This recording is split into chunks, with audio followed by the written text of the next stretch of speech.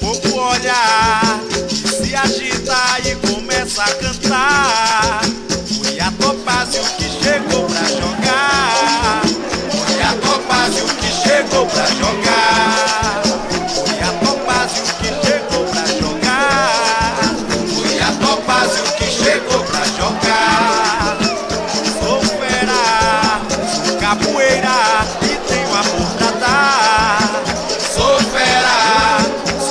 fuera.